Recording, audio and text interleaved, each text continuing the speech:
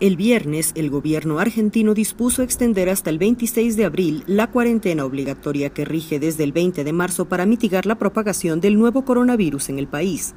El presidente Alberto Fernández explicó los motivos que lo llevaron a establecer la tercera fase del aislamiento social preventivo y obligatorio, luego de las dos primeras etapas establecidas del 20 al 31 de marzo y del primero al 12 de abril. Estamos enfrentando una pandemia de alcance inusitado, que seguimos sin conocer ni el remedio ni la vacuna que la evite, y que el único remedio que todos los infectólogos y epidemiólogos sostienen que, que tiene sentido es resguardarse en las casas de cada uno.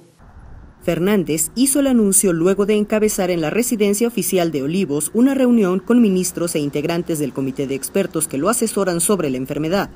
También señaló que la cuarentena en vigor ha permitido aletargar la velocidad de contagio para garantizar que el sistema de salud pueda dar respuesta a los que necesiten ser atendidos. Vamos a extender la cuarentena hasta el día 26 de abril inclusive. El 27 de abril volvemos a discutir. Entiendan estamos en un escenario dinámico. Entiendan que la salida de la cuarentena depende mucho de lo que cada uno de nosotros hace. La medida mantiene la restricción de los traslados y la mayoría de los ciudadanos deberá permanecer en sus hogares con permiso para salir únicamente a comprar alimentos o medicinas.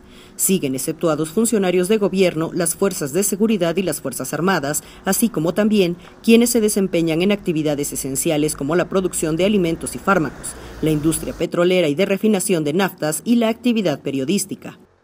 Desde el lunes se permitirá la actividad de entidades bancarias que atenderán al público con turnos y manteniendo el distanciamiento social, la actividad de talleres de reparación de vehículos y los paseos para personas con alguna discapacidad.